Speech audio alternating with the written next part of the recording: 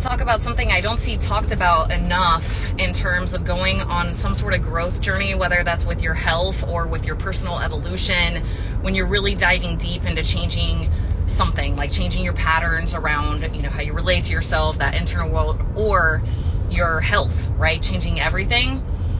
And it's when you don't have a support network. And not only do you not have a support network, but you actually have all the people around you not wanting you to do it. I don't see this talked about enough. So I thought I'd talk about it. And I'm a little, I admit, I'm a little hesitant to talk about it because, like, I don't want to, like, throw people under the bus in my world, but that is what I experienced. Okay.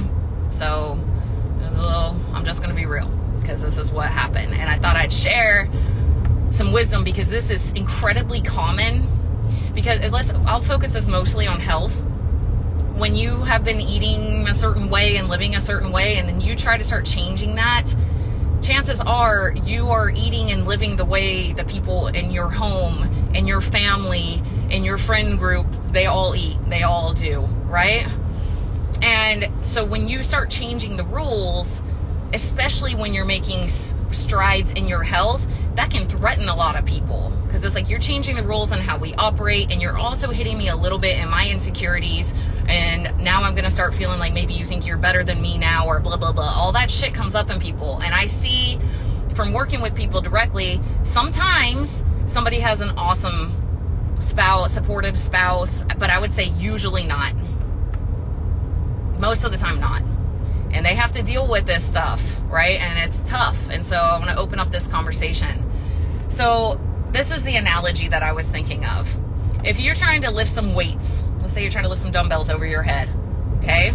And you have somebody going like this helping you lift them, it's going to be easier, right? Your chances of success are higher.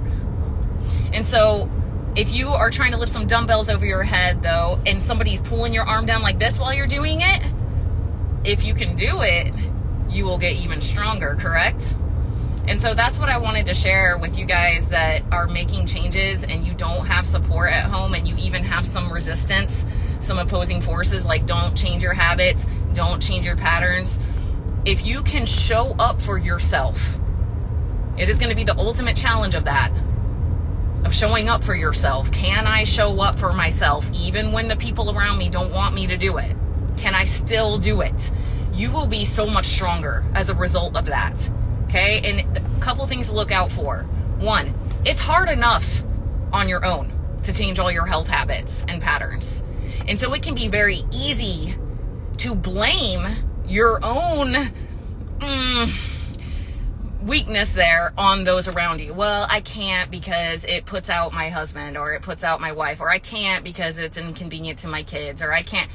So watch for that in yourself because that happens a lot, right? We are like, well, I would go to the gym, but you know, let me put it off on my family. So watch yourself on that one. And the second thing is like, when you are in that scenario, it's going to be the ultimate test of boundaries and self love. So, okay, cool. I know that they don't want me to do this, but what do I need?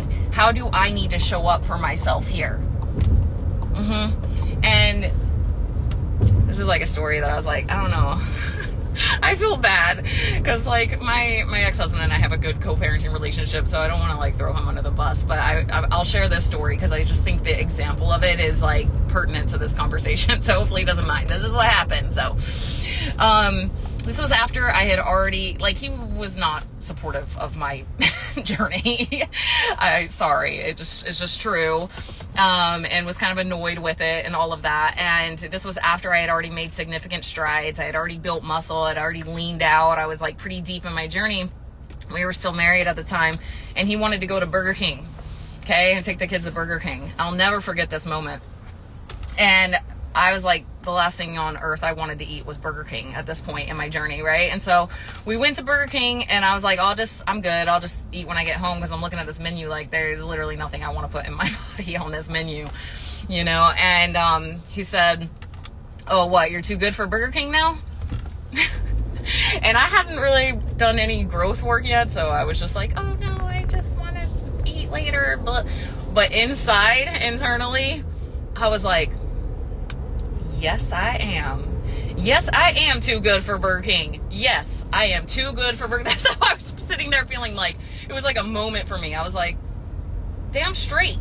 Damn straight I'm too good for Burger King. I don't want to put this garbage in my body, you know? And I was sitting there thinking, why are we putting this in our kids' bodies? Like, I had a moment there, you know? And so, if you are in that kind of scenario and you're getting met up with those kind of energies, just remember that their shit is their shit.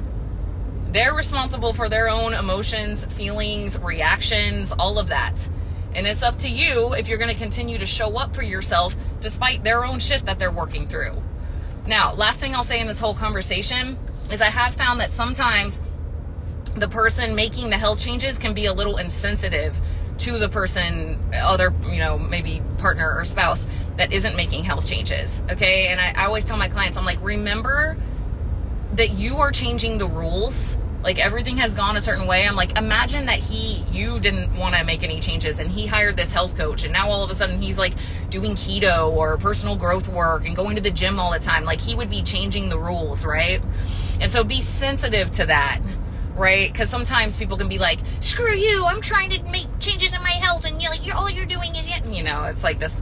So just be sensitive. Imagine that you were in their shoes, and that will help not have so much like controversy or like self protective type energy. Understand that, yeah, how would I feel if I was in their shoes? And then you can, can come, you can still show up for yourself, but you can come across in more kindness, empathy of like, yeah, I understand, and I'm asking for your support as I make these changes. And if they say no, it's like, okay, well, I'm going to make changes for myself, whether you support it or not. I would love if you could support me in this you know, I understand that I'm doing things differently than we've always done, but I would love, you know, I'd love your support, but I'm just letting you know I'm going to do this for me regardless.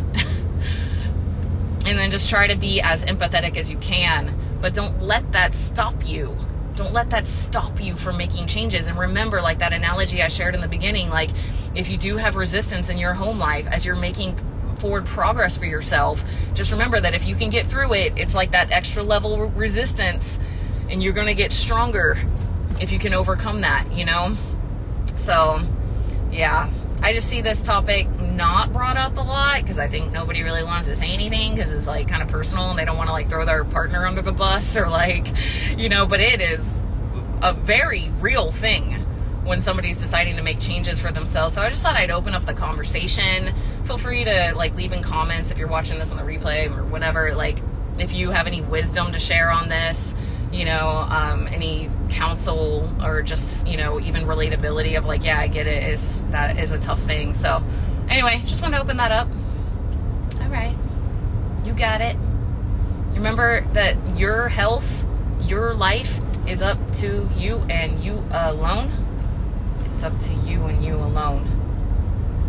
You know, no one's gonna no one's gonna tell you, especially the people who love you. They don't give a shit, really. They're like, I, you know, just, I just love you. Like, they're not gonna be like, okay, you gotta start eating healthier. Not usually, right? They're just like, mm, whatever you want to do, you know, usually. And so remember, you gotta show up for you. If you want to experience all that you possibly can at the highest levels in this life, like, you gotta show up for you.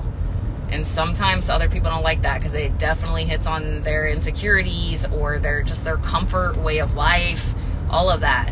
And so be as sensitive as you can, right? Understand what it, imagine you are them. That's the best way I can put it. Imagine that you didn't want to make changes and they were how you would feel, and that will help you in your communication with them, okay? All right, that's all I got. Much love, guys. Bye.